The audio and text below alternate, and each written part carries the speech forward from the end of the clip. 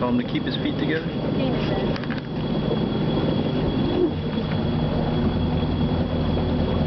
not easy. I...